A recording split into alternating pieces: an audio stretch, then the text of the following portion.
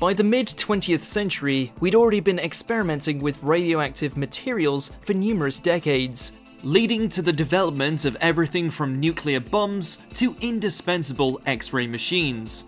But it wasn't until the 50s that atomic energy for power became a reality, and the first nuclear reactors were developed and put into use. In the following years, however, questions about the safety and long-term effects of nuclear reactors have only grown in importance.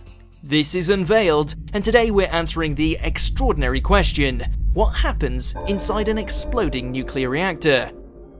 Are you a fiend for facts? Are you constantly curious? Then why not subscribe to Unveiled for more clips like this one and ring the bell for more fascinating content. There have been numerous nuclear accidents over the years, from experiments gone wrong to radioactive sources being stolen and causing contaminations elsewhere. But there have only been three large-scale nuclear reactor meltdowns, Three Mile Island in Pennsylvania in 1979, a partial meltdown, the Chernobyl disaster in Ukraine in 1986, and the Fukushima Daiichi meltdown in Japan in 2011. Of these, both Chernobyl and Fukushima are considered number 7s on the International Nuclear Event Scale, which is the highest an accident can be. Despite being the same ranking, however, the Chernobyl disaster is still widely considered the worst nuclear accident in human history due to the number of direct deaths it caused, and the volume of radioactive material dispersed into the environment, which was significantly larger than at Fukushima. There are different kinds of nuclear reactors, but the most common generate energy primarily via fuel rods of an inherently unstable uranium isotope, uranium-235, this isotope, when its nucleus is purposely split by a free neutron in the reactor core, produces a reaction called nuclear fission, which generates large amounts of energy. This energy creates heat, which evaporates water and produces steam, which in many nuclear plants then turns a large turbine, and the turbine generates electricity. In other words, these plants make power the same way, say, a coal plant does, with the crucial difference, of course, being the raw material. Nuclear plants can generate much more power with much less fuel, and are technically environmentally cleaner in terms of pollution, though not radioactive waste, provided they work as they're supposed to. Though the causes vary wildly, from preventable design flaws to human error to an earthquake, reactor meltdowns happen for just one reason the reactor ceases to function properly, and the radioactive fuel rods inside melt down, because nothing is cooling them.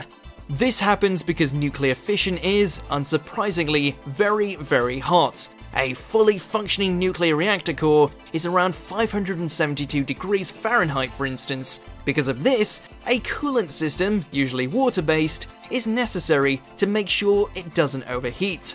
The 2011 earthquake and resulting tsunami that affected Fukushima was strong enough to cut off power to the plant, meaning its coolant system failed and three of the six reactors went into meltdown.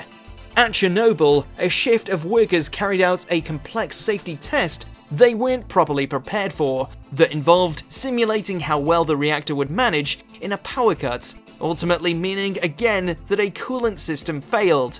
When a meltdown happens, the nuclear reaction goes completely out of control as the core begins to rapidly decay, which can sometimes result in an explosion. Explosions at nuclear plants are very rare, however. At Fukushima, the meltdown caused a different reaction, which created hydrogen gas that was eventually able to ignite and explode. But this was still nothing compared to the explosion at Chernobyl's Reactor 4. This enormous explosion that blew apart the plant happened for multiple complex reasons due to the negligence and lack of attention to safety protocols, leading to a massive buildup of pressure exacerbated by a design flaw with the control rods. Inside the reactor, these control rods, made of boron, were inserted to shut down the reaction, but their graphite tips briefly, yet consequentially, intensified the already precipitous release of energy. The resulting explosion was so huge, the roof of the plant building was completely destroyed, and large concrete structures had to be built to contain the area. An exploding nuclear reactor is vastly different from an exploding nuclear bomb. Despite being designed to explode and cause destruction, no atomic bomb can ever have the effects as long-lasting or far-reaching as a nuclear plant accident if it were truly out of control. This is because of the volume of radioactive fuel. Little Boy, the bomb dropped on Hiroshima in 1945, contained 141 pounds of enriched uranium, while just one reactor at Chernobyl contained over 30,000 pounds in its fuel rods. At the same time though, there's significantly more nuclear material in a reactor. It's thankfully rare that it gets dispersed over a large area. Chernobyl was an ostensibly unique case, with many particular factors contributing to the explosion and fire. The Chernobyl exclusion zone is still 1,000 square miles in size to this day, and a lot of care has also had to be taken to try and prevent groundwater tables from being contaminated by radioactive water in Fukushima. Nuclear reactor accidents simply have many long-reaching consequences. One thing nuclear events of all shapes and sizes can produce is radiation sickness, in order to develop acute radiation syndrome, which is radiation sickness caused by a high dose over a short period of time, a human needs to be exposed to 0.7 grays of radiation or higher. It's been estimated that Alexander Akimov, the shift supervisor of Reactor 4 during the Chernobyl accident, was subjected to a lethal dose of 15 grays during his work to try and contain the disaster, which killed him within two weeks. If you were exposed to an exploding nuclear reactor and didn't die as a result of the explosion, you'd almost certainly develop ARS and be dead anyway in a matter of weeks. And it's not a pleasant death. Some of the early symptoms of radiation poisoning are diarrhea and vomiting, while later the radiation burns get so severe that your skin may slew off.